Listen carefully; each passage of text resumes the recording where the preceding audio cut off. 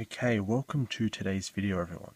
So in this video we'll be looking at uh, moving on from uh, the vector part of complex numbers and looking at geometrical locus problems. So let's have a look at a couple of theoretical examples first and in another video we'll look at um, actual examples with uh, numbers and whatnot.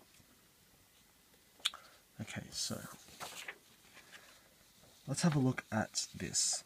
So this right here is a standard form in which we can expect to find a locus question. So this says that the modulus of z minus z naught is equal to r. Now let's think about this for a moment. What does this actually mean? Well, it, it, it, it reads in English, so this is the mathematical statement, but in actual English, this represents the locus of all points z whose distance from the complex number z0 is equal to r. Okay, so we have a point z0 and every point that z can take is, is r units away from the point z0. So geometrically, this is a circle, center at z0 and has a radius of r. Okay?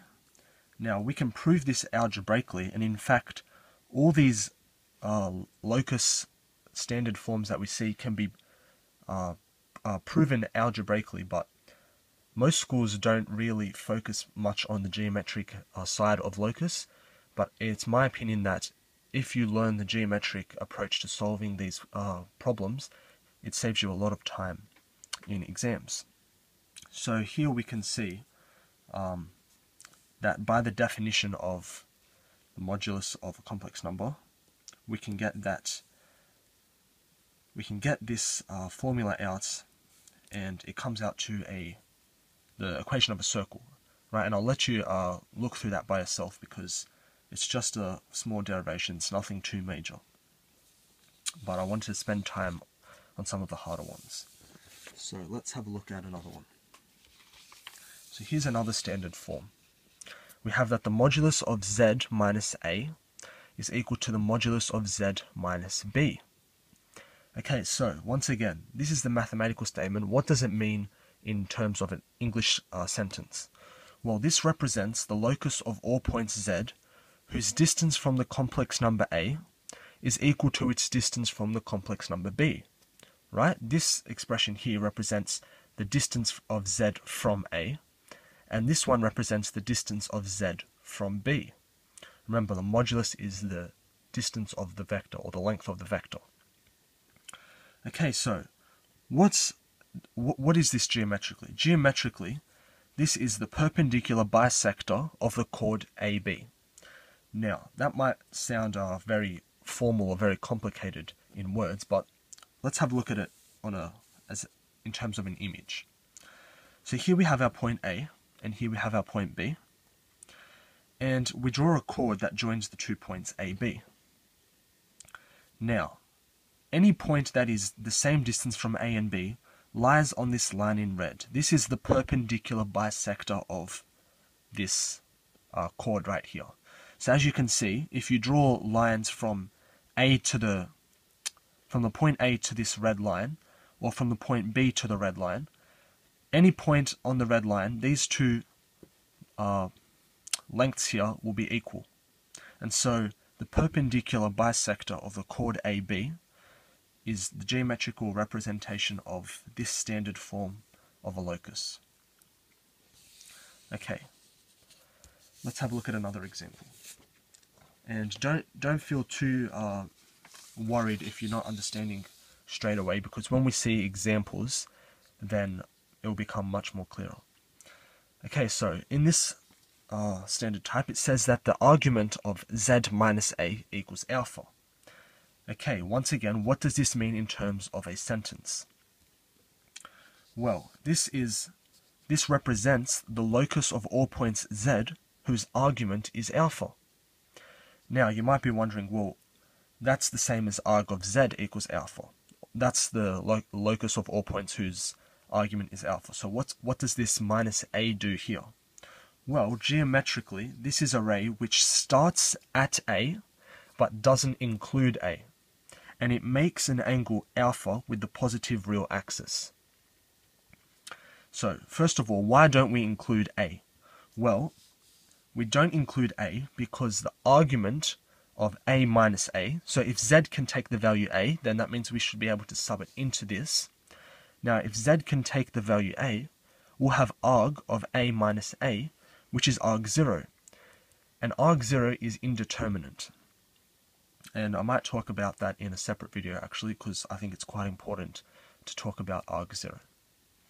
So, we have that arg0 is indeterminate. So how do we represent this? Well, it's going to be a ray, as it says here. It's a ray that starts at A but doesn't include A. So we draw an open circle. And it's the ray that makes an angle alpha with the positive real axis. So that's what this dotted line is. This dotted line is parallel to the real axis. And so therefore this angle here is alpha. Okay? So there's two more standard forms that we should look at. Alright, now this, so that those first three are, are quite common and you see them uh, often enough and if you have a fairly decent understanding of complex numbers then you should be able to recognize exactly what uh, they represent geometrically. Let's have a look at two that are slightly different.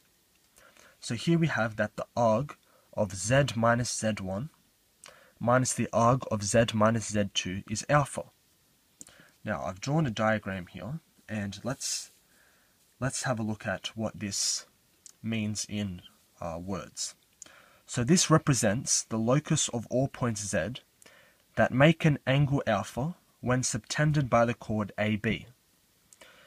Now, when you hear this, you should think back to your uh, circle geometry.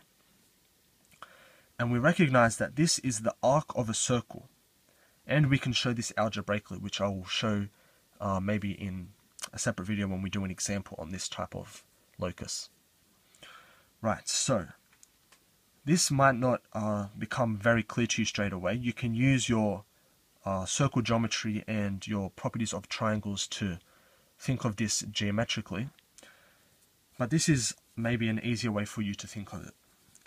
If alpha is positive, the locus of z such that the arg of z minus z1 minus the arg of z minus z2 equals alpha is the arc that goes from z1, so from this point here, in the anti-clockwise direction, and it subtends the chord z1 and z2.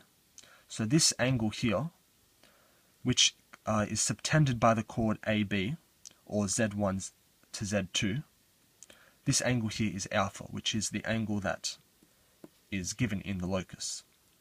Now you might ask, well, what if alpha is negative? Well, then it's the same thing, but the arc goes from Z1 to Z2 in the clockwise direction. So this time it will go downwards. It'd be the minor arc in this case. Okay, and once again, this might seem all too much to just understand without seeing an example, but uh, don't worry, you'll understand it much more when we see an example in a later video. Alright, and let's have a look at a final example here. So, this one says that the modulus of z minus z1 plus the modulus of z minus z2 is equal to 2a.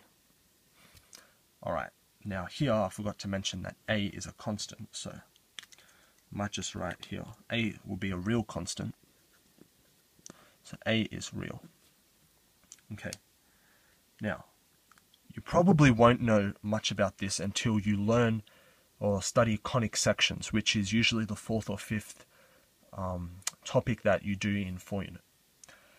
So let's let's think about what this actually says. This represents the locus of all points z, whose distance from a complex number z1, which is this part here, the distance of z minus, uh, sorry, the distance from z from z1, plus its distance from a complex number z2, which is this expression here, is equal to a constant 2a.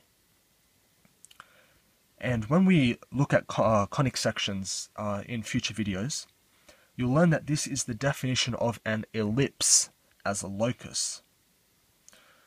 right? So when we look at uh, conic sections, you'll learn a few different definitions of of the ellipse and of the hyperbola. And this is one of the definitions of an ellipse.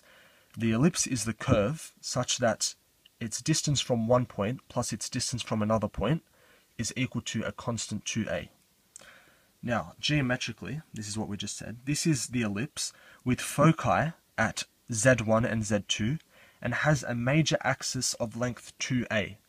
Now, some of these, some of this terminology might not mean much to you because you might not have studied uh, conic sections yet, but don't worry, when we uh, learn about conic sections, it's probably a good idea to come back and revisit this uh, video and the video in which we do an example of this type because then you'll fully understand what we're talking about. Okay, and so these are the main geometrical uh, locus questions that you see in four unit complex numbers and the next video will be uh, numerical examples working with these uh, standard forms. Okay, thanks for watching.